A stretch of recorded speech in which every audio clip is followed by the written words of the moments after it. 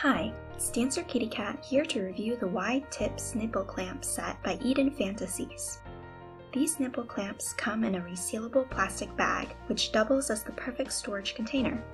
This product feels very sturdy and will surely withstand even a rough S&M scene. The clamp tips are wide to distribute the pressure. The clamps are covered by rubber pads to both ensure a better grip on the nipples and to provide a cushion between the harsh metal and your skin. The two alligator clamps are attached by a metal chain. The chain is 16 inches long. I found that the weight of the metal chain pulled gently on my nipples, providing a pleasurable erotic sensation. The clamps are adjustable, so they can provide everything from a sadistic pinching sensation to a light tug. Here, I am tightening the clamps by unscrewing the pin.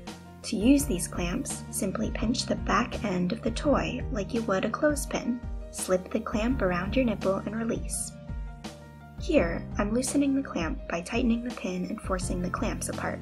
This is my favorite setting since it provides the perfect blend of pleasure and pain. You can screw in the pin even more to make the clamps extra loose. However, I found that at some point the clamps will just fall off. With its versatility and comfort, this toy is perfect for anyone kinky, vanilla, beginners, or seasoned pros. Thanks for watching.